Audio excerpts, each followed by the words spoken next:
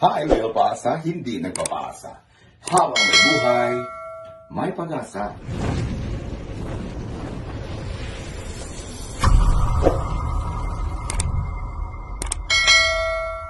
Ay, natapos na po tayo sa ating ikalawang yugto sa Blagag 2. Ngayon, Blagag number 3. Ang title, Why I Became a Blogger. Bakit ako naging vlogger? Hindi naman ako magaling mahilig sa mga technology. So, ayun, nag-vlog kami kasi na-challenge kami kay Ate Marfe. Nangyayari na, di, patuloy yung laban.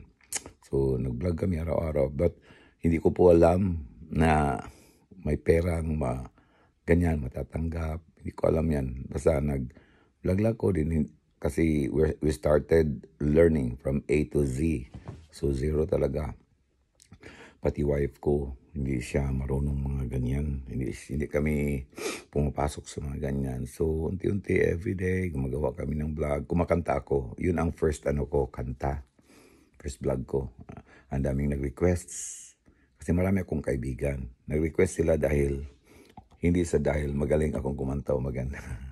kaibigan ko, marami akong kaibigan eh. Pala kaibigan kasi akong tao. Isa akong taong kuan na ng open talaga ang buhay ko sa lahat. So, palagi, palagi akong uh, ini-invite sa mga ano, kantahan, mag-MC, kasi yon talent ko, mag-MC, din kumakanta, entertainer.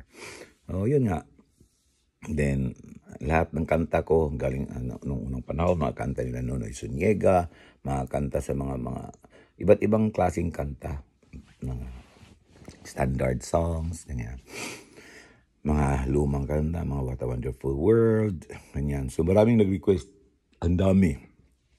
Buong mundo nagre-request, kahit yung mga composer ng kanta, nag-ano sa akin, nag-thank you, nakinanta ko ang kanilang mga ano, kahit yung mga namatay na mga composer, ang kanyang mga anak, nagon, na-surprise talaga ko, la, ang daming nanonood talaga. So ganyan. Pero,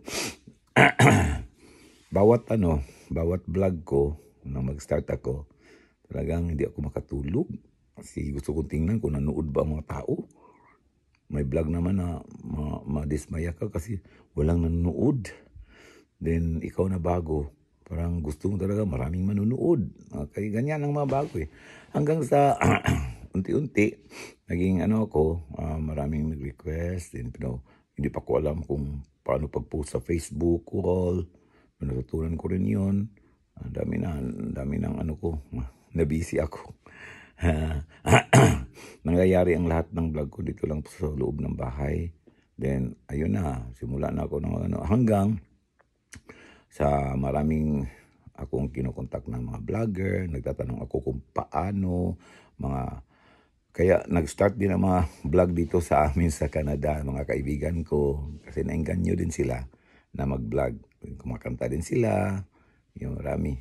So, para kita natawag kami the family of vloggers pero kanta lang sa amin kasi ano kami sa music.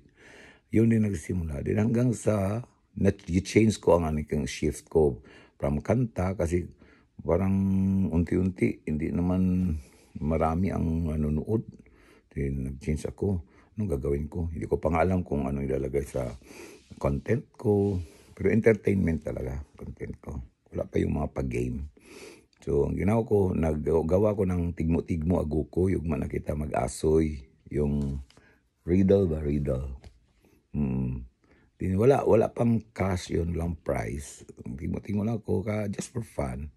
Then, ang susunod na kabanata, pagbabalik ko na. Okay? Vlog number three, uh, why I became a lover. Ano? A vlogger. Bye.